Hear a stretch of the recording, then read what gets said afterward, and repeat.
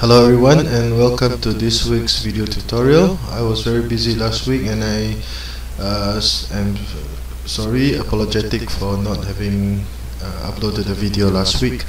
Uh, today I've decided to do something new. Uh, one of my favorite authors in Xiangqi is uh, Master Huang Shaolong and he is well known for his many uh, very nice written books which remain one of the standards of uh, in the recent decades. Now, uh, I've selected a few games from one of his books whereby he commented on a series of uh, games of similar openings and without further ado, uh, we shall go to the I've selected a few for today and we will see how much time I have and see how many games I can comment on, I can translate, sorry. Now this game was played in 2006. Red was Grandmaster Hong Zhi, black was Master Jiang Fengshan. It was the 2006 A-League uh, and the game has been uploaded or will be uploaded soon onto YouTube. Okay, to begin with, uh, Grandmaster Hong Zhi started with the central cannon and Jiang Fengshan, Master Jiang Fengshan decided to counter with the same direction cannons.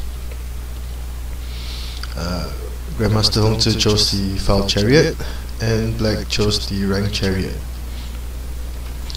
And Grandmaster Hong Zhi decided to play h8 plus 7 for to develop both horses as proper horses. And Black continued with R9 equals to 4. Uh, okay. And since Black did not push the pawn, Red decided to play P7 plus 1. Now at this point in time, uh, Red chose the double-headed snake pawns, and as both of the black horses were uh, had trouble developing, Black tried to uh, traverse his cannon to develop his chariot. Red continued with, continue with R9 equals to 8 and red after play after red had played uh, R9 equals to 8 he was prepared to play C8 plus 4 if black played R1 equals to 2 so this will have this will form a blockade now black did not want to did not want that to happen. And that, that was why he advanced his chariot across the river to try to attack the horse. And at this point in time, uh, black would not be, uh, sorry, red would not be able to play e7 plus 9 so that he could protect his horse. As if he were to do so, he would have wasted a move.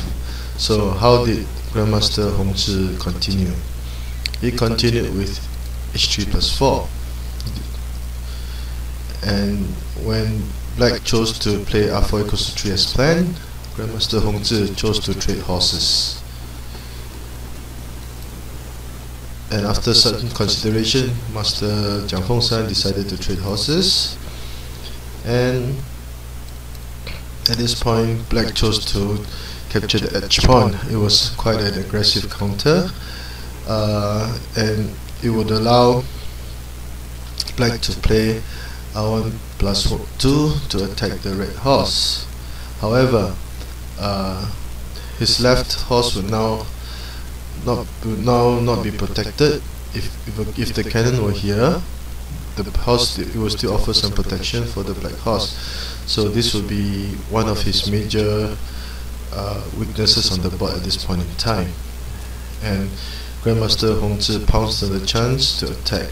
So how did he continue?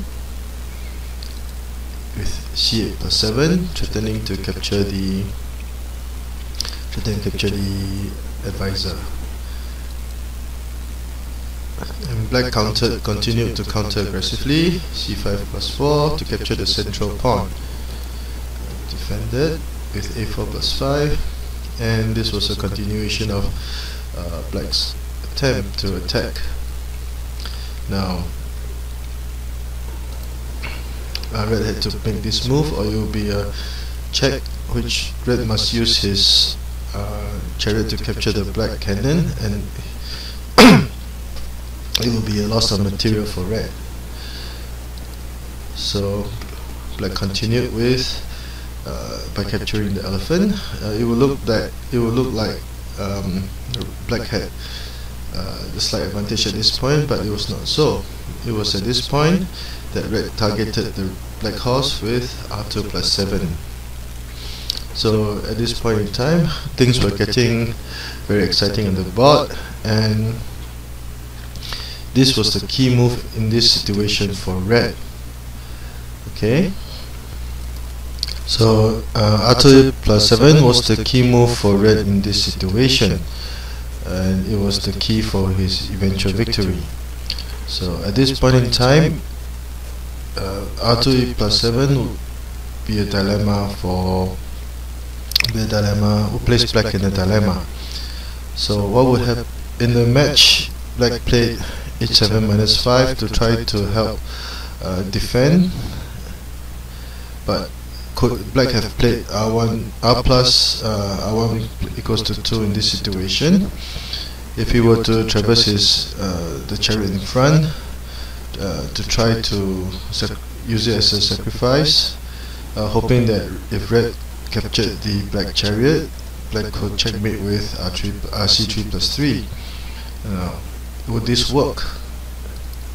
Uh, black would simply play as 8 equals to 7 and the black cannon would traverse to the capture the other edge pawn trying to attack the other side because once it delivered a check uh, if the elephant moved away the cannon would be caught however red could simply go ahead with, with r2 equals to 3 to capture the black horse and if the check were delivered and even if the central cannon were captured red could play aggressively with this move. Now if black tried to continue with, with the discovered check uh, black would not capture the cannon and move his king to safety instead and also this will allow black uh, red to continue to attack. So if black protected the cannon, red could continue to attack with uh, r3 equals to 4 to attempt to capture the advisor. Now this will be a checkmate because after capturing the advisor, the king cannot move to the centroid. So the only way that black could defend would be a6 equals to uh, a6 plus 5 and at this point in time red will make a very nice move with r7 equals to 6 threatening to capture to sacrifice his chariot to capture the other advisor, whereby it would be an angler horse checkmate. So black would be in deep trouble, and no matter what black did, it would still be a checkmate. Hence, that is why it would not be a good idea for black to play r1 equals to 2. Instead, in the in the actual match, h7 minus 5 was played and after making this move red made another very nice and powerful uh, aggressive move with id equals to 6 to capture the advisor. Now this would threaten the this would threaten to capture the black chariot. And if the king were to capture the cannon for example in this manner uh, sorry the, the king cannot capture the cannon because it would be protected so if black chose to capture the horse, it would be a check and both the chariots would be lost. So this was what Grandmaster Hong Zhi played in the match. And black was, was only left with the solution of r1 plus 2. And at this point, black made another nice move with uh, c6 minus 1 to block the black horse and still allow his and still allow his attack to continue. Now at this point in time, black chose to play r1 equals to 4, but uh, it was still a little bit too late. Uh, would r1 equals to 2 be possible at this point in time, as shown in the previous variation? Again, black would defend in this manner. Okay uh, still move his king to safety and be prepared to play r2 equals to 4 check capture threaten to attack the advisor. If black were to move the advisor, uh, the horse to safety, uh, red would play r7 equals to 3 to discourage the black um, chariot from moving away. So black would still be in a big dilemma, and the horse would be, the horse cannot move, or black would capture the advisor for the checkmate. And if black moved the advisor, he would lose his horse, and still be threatened uh, to lose his his elephant and advisor because of the red king over here. So again, r1 equals to 2 would not be a viable option. Back to the match. And at this point in time, red decided to sacrifice his cannon with k5 equals to 4. This would threaten to capture the black chariot and also allow red to play r2 equals to 4.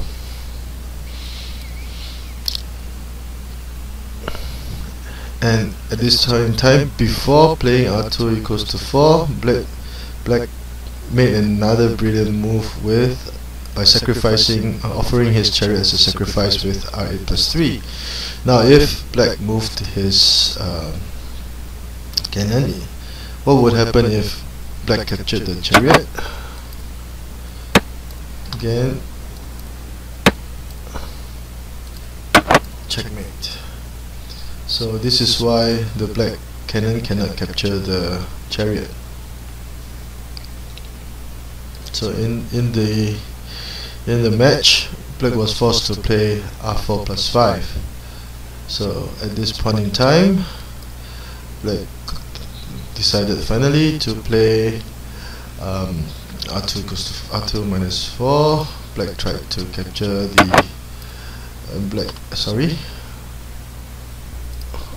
uh, sorry, uh, in the match black played um, h5 plus 7 or it would, be it would have been a checkmate. Uh, trying to block with uh, trying to block the attack with um, c5 because the 6 would not be possible.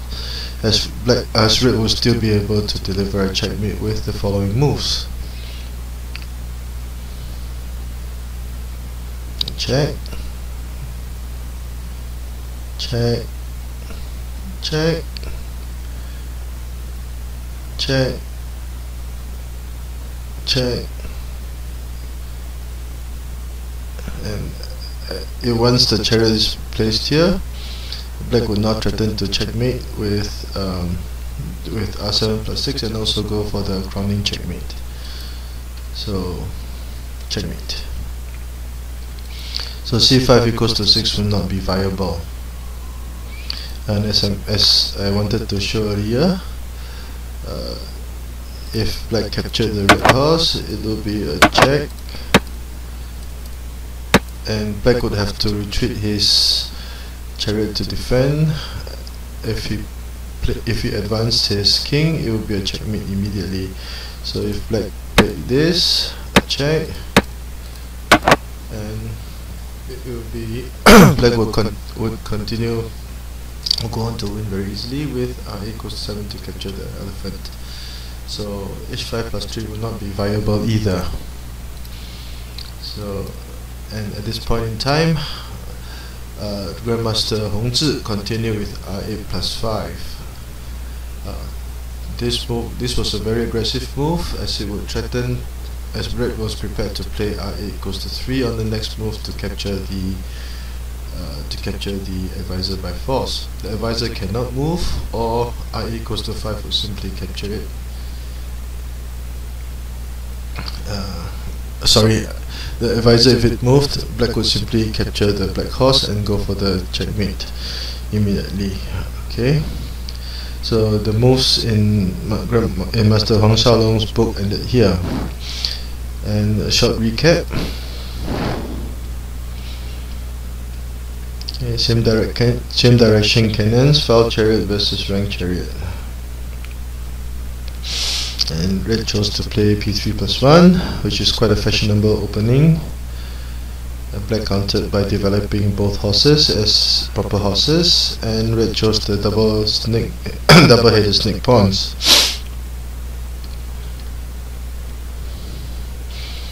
and red decided to trade horses and once red was able to trade horses uh, red, could, red was prepared to play r8 plus 7 uh, c8 plus 7 to attack black's bottom rank.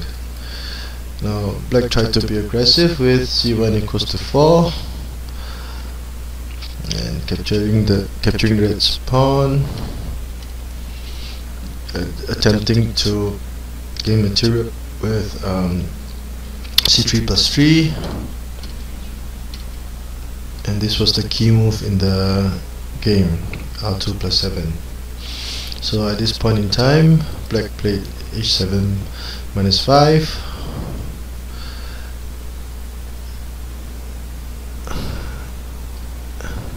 and this was another key move uh, bringing the red king to safety and using the red king to attack to assist in the attack.